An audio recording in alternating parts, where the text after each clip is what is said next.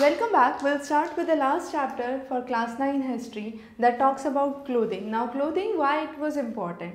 It was considered as a symbol for grace, modesty and beauty. So during the time of democratic revolution that took place, the changing in the clothing style occurred drastically and that was really very important to understand. Under the sumptuary laws that were given in France, the idea was there was a significant difference between the superior class or a kind of group of people who were considered as socially superior with those who were considered as socially inferior. It differed on the basis of clothing, on the basis of clothing, on the basis of food, on the basis of beverages they used to consume and the hunting of animals. So those were the basis on which the two caste or the two social groups were demarcated. Now this sumptuary laws was prevalent till a long time. Most of the clothing was adopted or considered based on the fact that how many people could avail it and the cost of the clothing. But slowly and gradually the things changed with the revolution coming in with the first world war that came in where girls were allowed in emanation and once they were allowed they, the dress code drastically changed. The dress code changed from a kind of more uh, colorful dress code to a kind of sober dress code with more simplicity that was involved in it. Again, one very interesting fact under the sumptuary laws was the number of clothes that a person could purchase from each social rank was determined or fixed and a person cannot purchase more than that number of clothes. The rich or the royal were supposed to wear ermine, fur, silk, velvet and brocade. However, the members of Jacobin club who revolted against the aristocratic family, the aristocrats were considered or wore the knee breeches. However, the Jacobin members called themselves as sans-culottes which we have already talked about in the class on French Revolution and they themselves considered the people who would oppose the aristocratic setup. So those were the kind of feelings that came in. The national flag uh, of France was in blue, white and red. So those three colors became the popular colors. The political symbol was very important. So red cap became a symbol of liberty. Again, a very important change that took place during this time was the development for the woolen industry. Now, to promote the local woolen industry, what was done was the clothing was changed. Now, every person who was about 6 years of age had to compulsory wear, compulsorily wear a woolen cap on Sundays and all holy days or all days of festival. So, it was a means to promote the woolen industry in England during that time. So not only it was a kind of social status but it was also meant to boost the economy or the industrial revolution that was taking in uh, England during that time. The similar things that were happening in France and England, similarly in America, the dress code was very different. And the dress code was kind of long skirts that swept the ground. But after the kind of changes that came in with the world war and the democratic revolutions, the dress code drastically changed. As we said to a more simple, moreover people were uh, against the kind of dress codes that were prevalent because they believed that these dress codes would hamper the blood circulation, would affect the spinal cord and was not good uh, or was leading to underdevelopment of the body. So those were the kind of things that were taking place. So there were two important movements, the National Women's Suffrage Association which was headed by Stanton and American Women Suffrage Association by Lucy Stone. Both of these campaigned for dress reforms. Later on, Amelia Bloomer, she was the first dress reformer to launch loose tunics and these were also known as Bloomer's Rationals or Knickerbockers. So those were the kind of changes that took place during this time. Now what happened during the new times?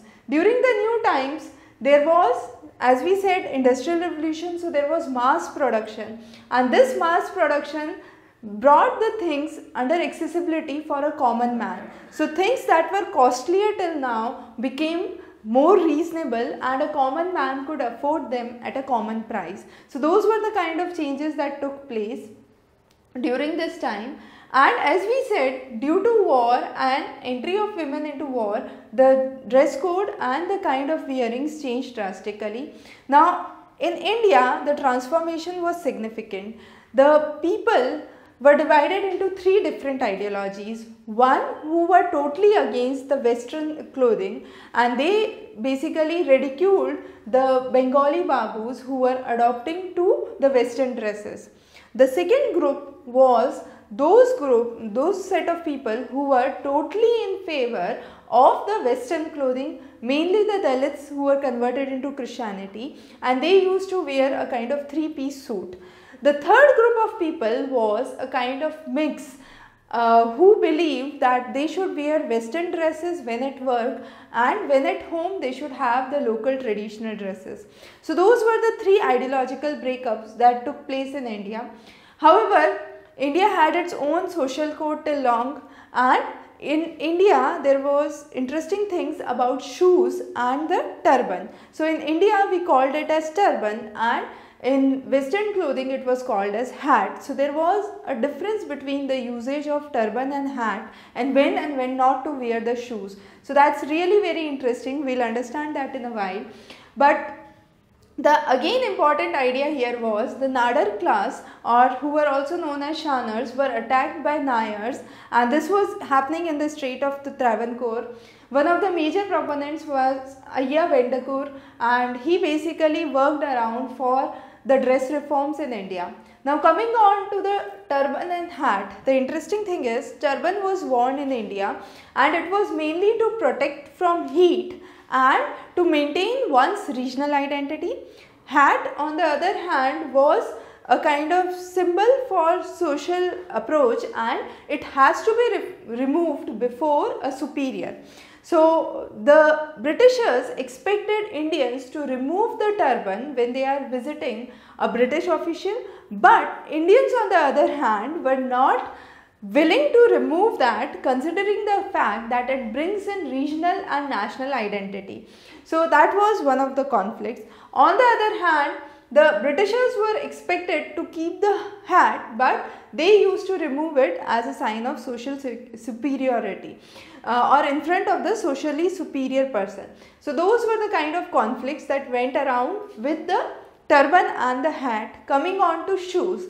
Now in India, shoes were considered as impure and the place in home where you used to sit on the ground and have your food was considered as sacred or serene. So shoes were not allowed into the home.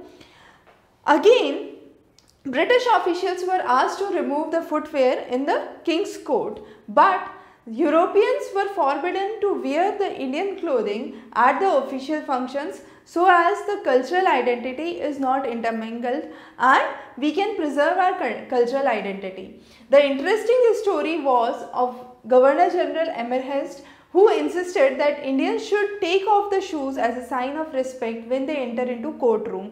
But Indians were totally against that. Indians believed that we would remove shoes only when we are entering into a house which is cleaner and the courtroom is a kind of public place where you have the public dirt and pollution that comes in. So it's not good that we remove the shoes there.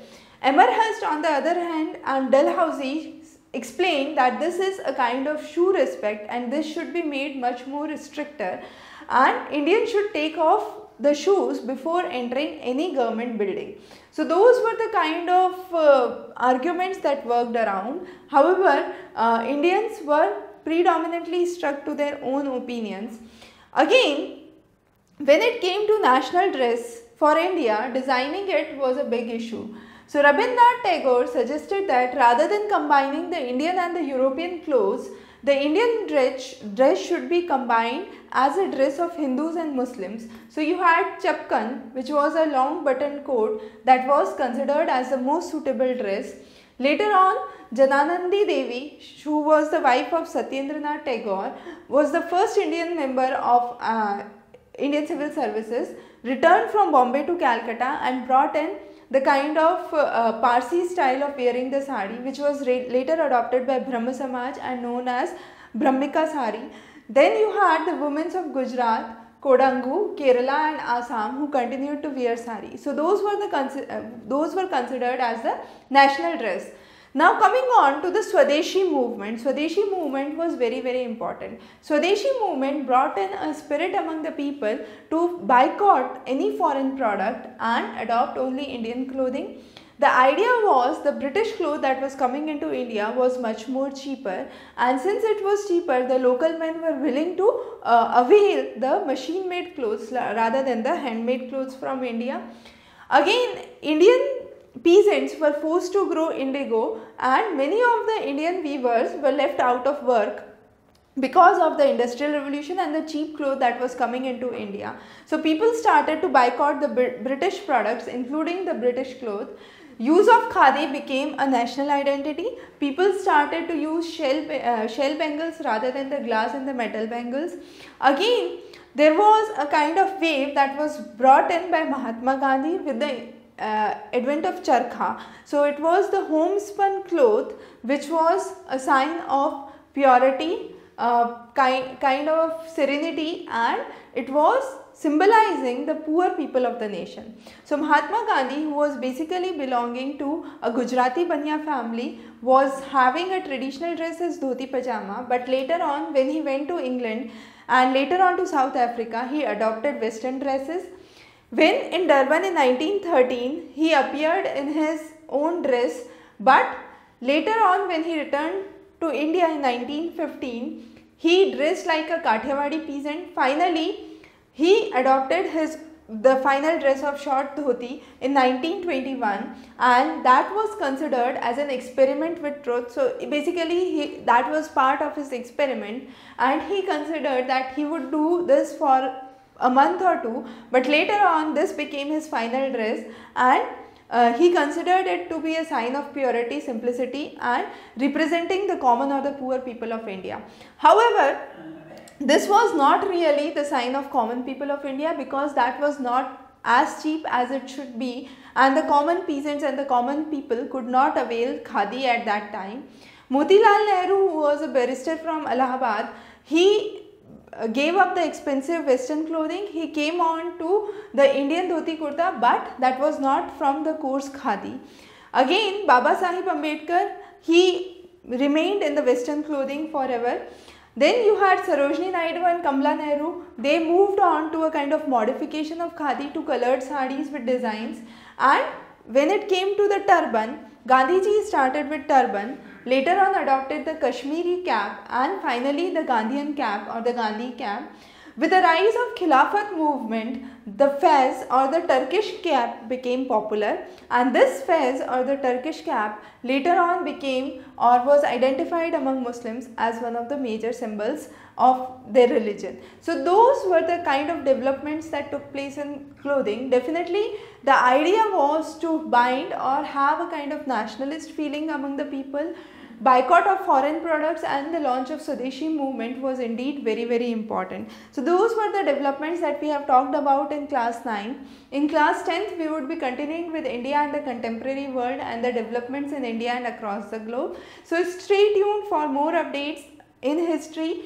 We will start with class 10 in the upcoming lectures. Have a very good day ahead.